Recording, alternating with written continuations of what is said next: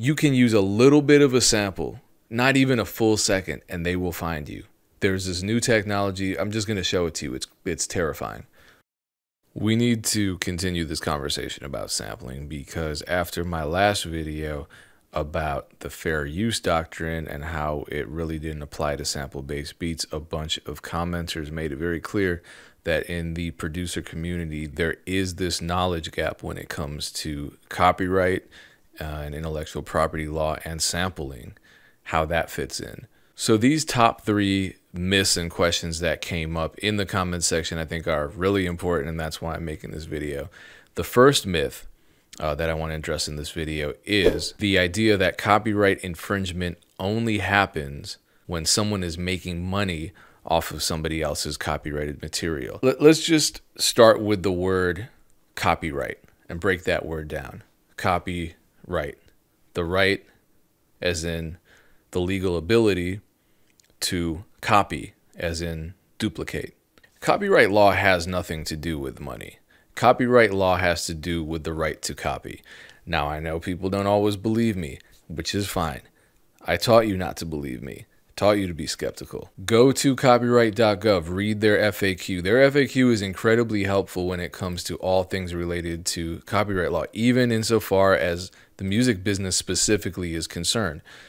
Check this out. What is copyright infringement? As a general matter, copyright infringement occurs when a copyrighted work is reproduced, distributed, performed publicly displayed, or made into a derivative work without the permission of the copyright owner. Never, nowhere in there do you see the word sale? Do you see the word money? Do you see the word profit? As you saw beneath what I was just reading you, um, the copyright FAQ goes on to discuss P2P networks, so torrents, that kind of thing. Consider this distributing or downloading a torrent of a Disney Pixar film obviously is a copyright violation, but there's no money exchanged in that scenario. If I downloaded a Disney Pixar film and spent my own money to duplicate a thousand copies on DVD and went and handed those out for free, would I be violating a copyright law? Yes, I would. Everyone knows that. So, sampling, even if not for profit, even if there's no money involved, you don't make a cent off of it.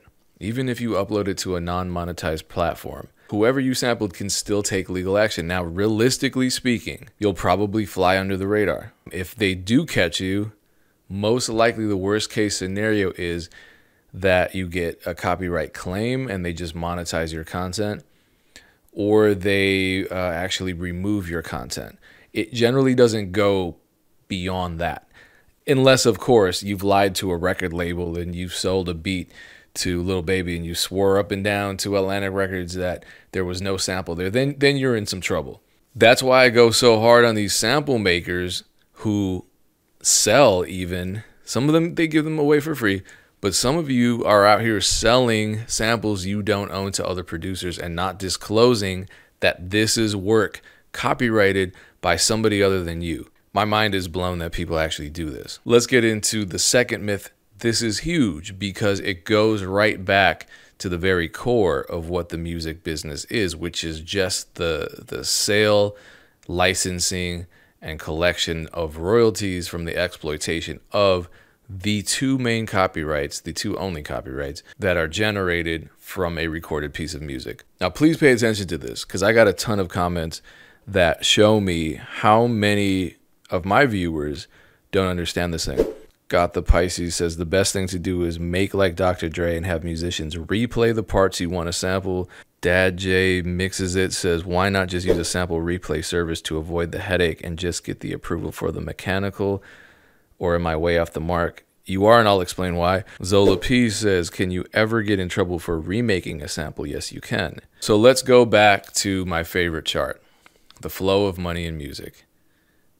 These are the two copyrights to every recorded piece of music. This is unique to the music business. You cannot compare real estate to the music business. You cannot compare photography to the music business. A song has these, this is unique to songs. They have these two um, copyrights automatically when they are created the master recording and the composition. The master recording is the actual recording of the song. The composition is, they say, think sheet music. So th- anything that can be written down on sheet music and then replayed by other musicians, not recorded audio.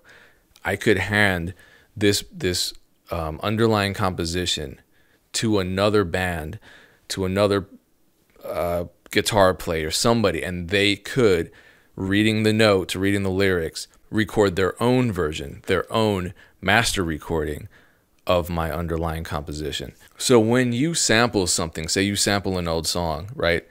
You are actually infringing on both of these copyrights. Well, you're not technically infringing quite yet in a, in a practical sense, but what that means is you have to clear both of these copyrights. So someone commented about the story that I told. A lot of people were speculating who I was referring to when I said I lost my publishing to a dead man. I'm using the term publishing loosely to just mean everything that falls under this umbrella. And when the gentleman who commented about mechanicals, uh, mechanicals are just a specific type of royalty under the underlying composition copyright umbrella. A lot of people think mechanical royalties are the same as master recording royalties, and they're actually very different. As you can see, they're in completely different positions on this chart. So make this chart your best friend because when something about the music business confuses you, this is a great roadmap. We're just going to go straight to who sampled and we're going to talk about it. So I sampled Willie Hutch, rest in peace. So when I said that before the album even dropped, my royalty account was at negative $14,000, this is what I meant, right? They paid me, the label paid me $4,000 for the beat. That's an advance. When they say advance, that means an advance on royalties on royalty points. Royalty points are generally between 3% and 5% of whatever royalty rate the rapper is getting based on your song. So that's why I said it was a fraction of a fraction. And what the label will do then is they will charge your account with any expense that is related to the production of that record. And your account has to generate that money back so that it's beyond zero, so that it's, that it's at a positive balance before they pay you. A lot of people say uh, uh, it advances a loan. I have a problem with that because if your bank account is in the negatives, you actually owe that money. If your royalty account at a record label is in the negatives, you don't owe that money. You just hope that it generates beyond zero so you actually start making money. So it's not a it's not a loan. But I said 14,000, not 4, right? That is because Def Jam had to clear the master recording of the sample and that cost 10,000, I believe.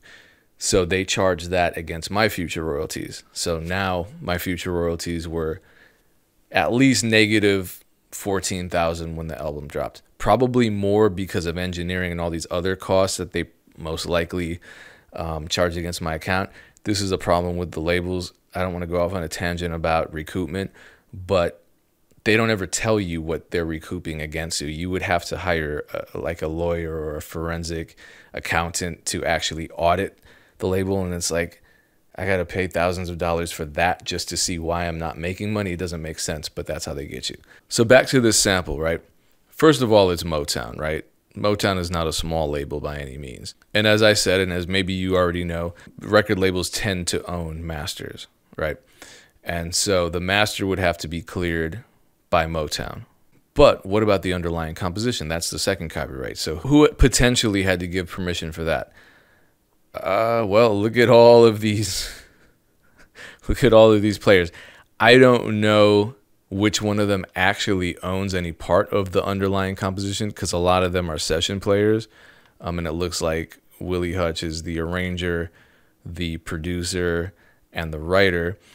Uh, so, you know, in theory, he may be the only person who owns the underlying composition. He may be the sole owner of that.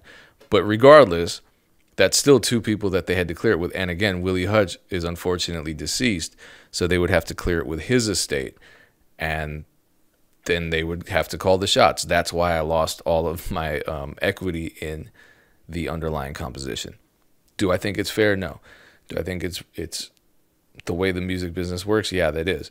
I'm not saying any of this stuff is fair. I'm not telling you clear every sample you make. I'm not telling you any of this other than how the law works.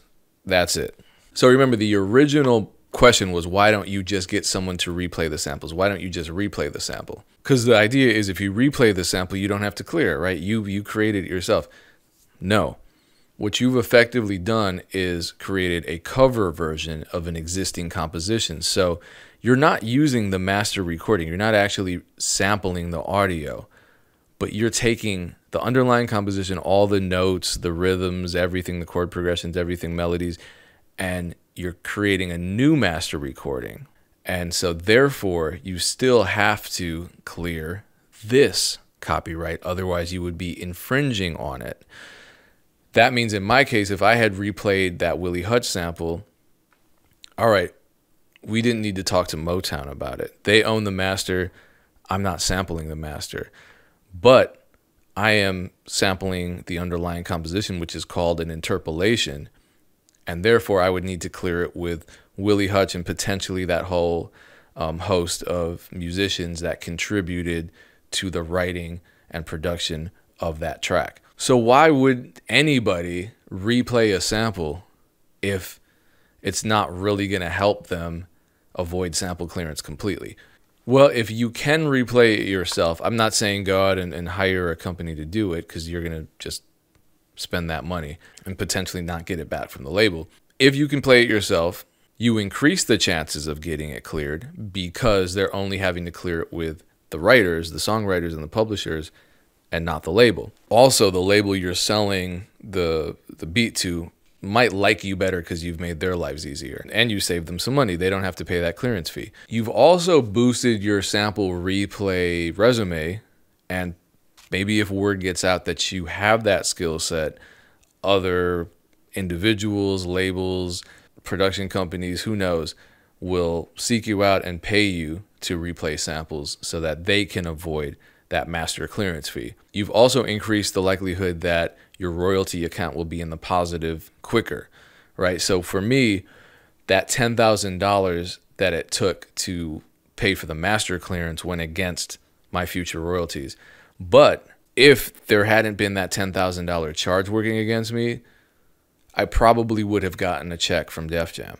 Now, there are other alternatives too. Uh, if you have a good relationship with the label, with the A&R, whoever is in charge of this project that you submitted a sample-based beat to, and I've done this before. I've done this. Actually, I can tell this story because Statik Selektah went public and talked about this. There was a Wiz Khalifa record that contained a sample. Um, the people who owned the sample wanted $80,000 to clear it. So Statik contacted me in Dream Life, and I forget who all was involved. It could have just been me and him, but it also could have included memory and stack trace. Either way, we created an entirely new sample. We didn't replay the sample, we created a new sample that fit with the track and that saved them that $80,000. Also, there was another time I thought I was going to lose this record. I and this turned out to be a platinum and a gold record. This sample was going to ruin the whole thing. This this sample was going to take away a platinum and a gold record from me if I didn't figure out a way to uh, get around it. So, thankfully, thankfully I found a way, and this is what I did. And I'm talking about the uh, Pooh Shiesty G Herbo record, Switch It Up. I've told this story in long form elsewhere, so uh, check that out on my channel. But it was a blessing in disguise. The sample was old. Gold Haze and um, JD Fang had flipped it, and then asked me what the source of it was. Actually, that the Atlantic Records A&R asked me what the source of it was, and I was like, "Look, this sample. I don't know what it's from. An old computer. It's seven years old. Can I just play something different that will fit the track?" they didn't want to do it at first. I had to really talk them into it. And in spite of all the controversy, they accepted one of the, the 16 versions I made. Album went platinum, single went gold. I was stressed out. And here is the last myth I want to cover, but it's an important one because emerging technology is getting terrifying. Dr. Jonesy says alternatives make your own beats with no samples okay, that's not really an alternative to sampling, whatever. Or sample, but sample so heavy nobody knows what it is. Let's talk about that. You can use a little bit of a sample, not even a full second, and they will find you. There's this new technology. I'm just going to show it to you. It's it's terrifying. According to the creator of uh, this particular video, this was um, done using Google's song recognition. I, I don't know what that is, but watch this.